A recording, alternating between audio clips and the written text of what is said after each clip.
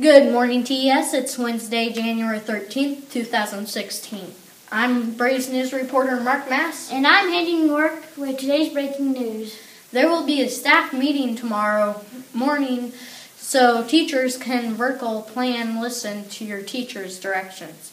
Where about where you should go in the morning before school. Remember that, Mark. Dance okay. camp continues tomorrow after school in the big gym. Make sure you have a ride home at 4.30. So are you going? No, I thought you were.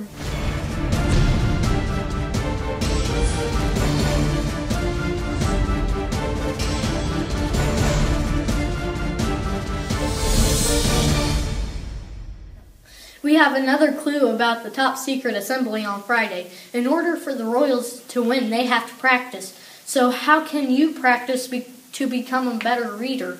Our special guest will tell us all about it.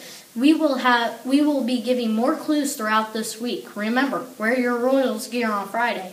It's been a cold week, but no snow. Here's Braves News weather person Mary Kanan to tell us what to expect tomorrow.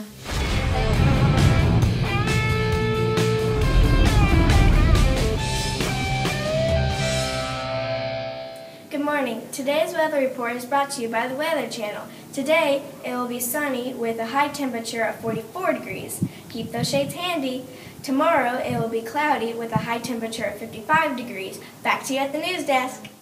Thanks, Thanks Mary. Mary. Remember to say the Pledge of Allegiance with your class after the credits. Have, Have a, great, great Braves Day. day.